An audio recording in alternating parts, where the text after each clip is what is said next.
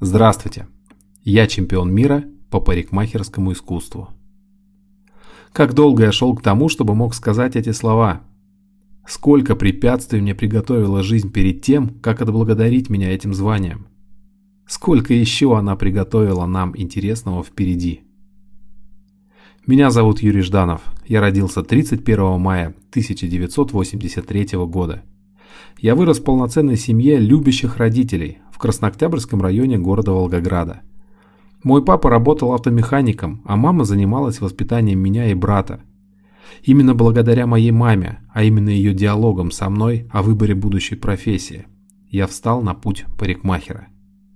Сегодня, спустя 23 года работы в индустрии красоты, я поднимаю голову вверх и смотрю на звездное небо, а губы шепчут «Спасибо, мама». Я счастлив, что нахожусь сегодня именно в этой профессии. И спасибо моему папе, ведь благодаря его титаническому, на мой взгляд, труду, в гараже, под грязными ржавыми машинами, несмотря на непогоду, он зарабатывал своим сыновьям дорогу в жизнь.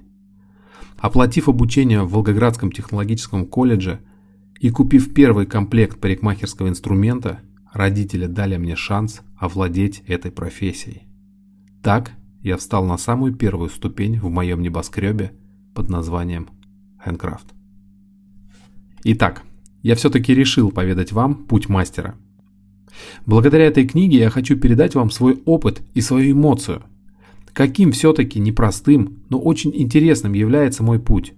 Быть может, я смогу вселить в кого-то надежду или веру в себя, а может помочь советом или личным примером, показав, что и у меня не все получалось с первого раза.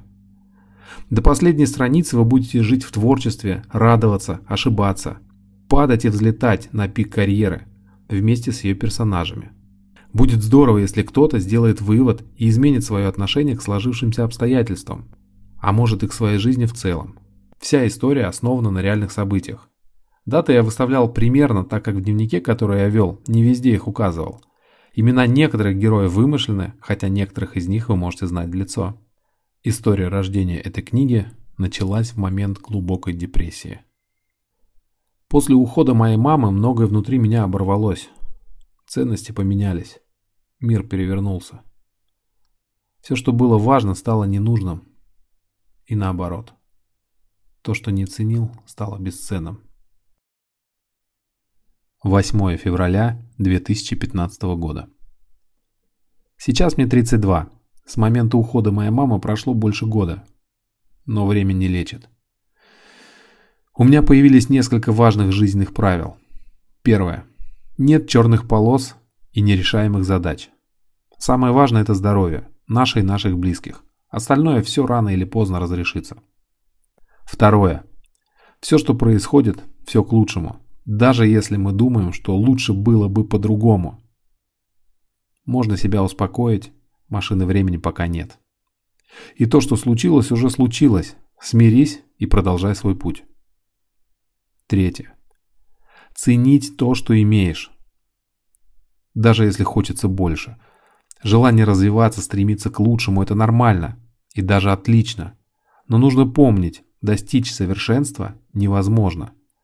Можно погрязнуть в чем-то, фанатично пытаясь стать сильнее, лучше, богаче – и просто забыть о том, что мы живем, уйдя в рутину.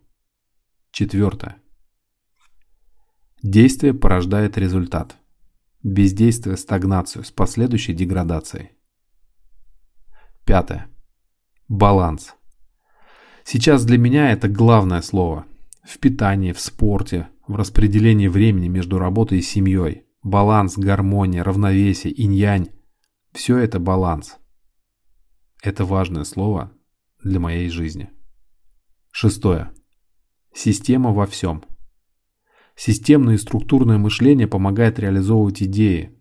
Система дает результат. Это факт, показанный временем. Седьмое. Команда.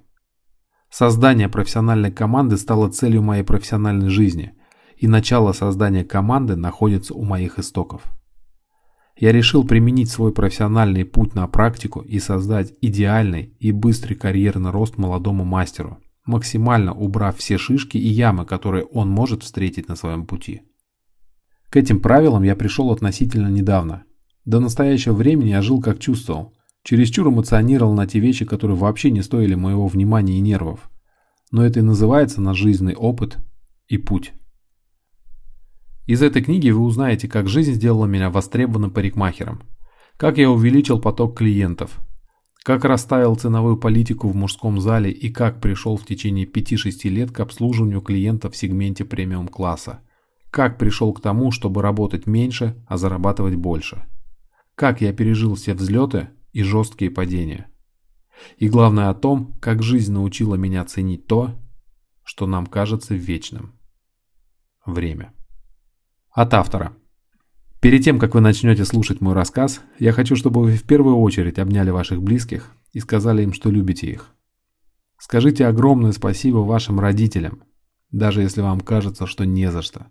Если вы так думаете, поверьте, вы ошибаетесь. Придет время, и вы поймете это.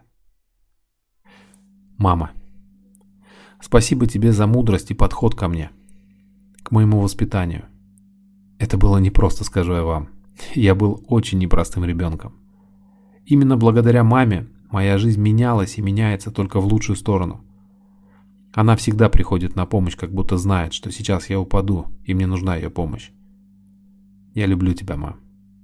Пап, спасибо за мудрые советы, финансовую поддержку и личный пример. Папа как стальной стержень, несгибаемый, спокойный, уравновешенный и в меру строгий. Помню, как мама ругается на нас мелких балбесов, а мы ржем и не слушаемся. Папа молчит. А мы продолжаем беситься, и тут спокойным голосом папа говорит. «Хватит доводить мать». И этого нам было достаточно, чтобы понять всю серьезность ситуации. Папа научил меня отличать рожковый ключ от накидного. Может быть, сам того не понимая, донес до меня, что все, что нас окружает, сделано руками человека. И мы можем все.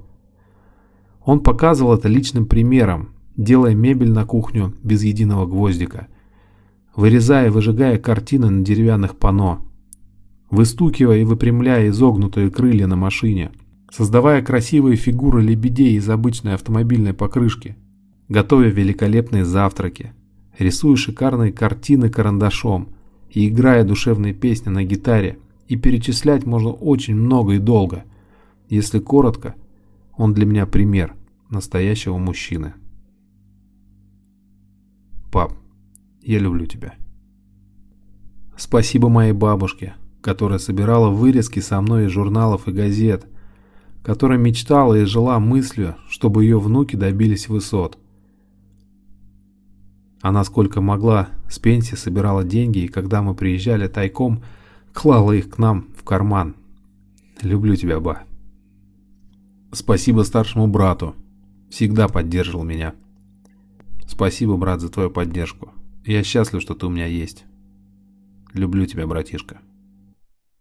Ну и, конечно же, спасибо моей второй семье, родителям моей Иришки, за поддержку во всех моих начинаниях. Я всегда чувствую вашу поддержку и опору.